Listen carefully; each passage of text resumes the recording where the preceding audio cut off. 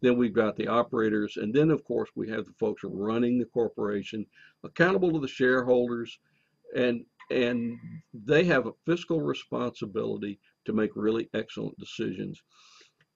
It, it's been my blessing throughout my entire career to work for some of the smartest people in North America. And when I put the right information in front of them, framed in terms that they can relate to, they invariably make good decisions. And that's that's one of the most richly rewarding parts of my job as a fleet leader.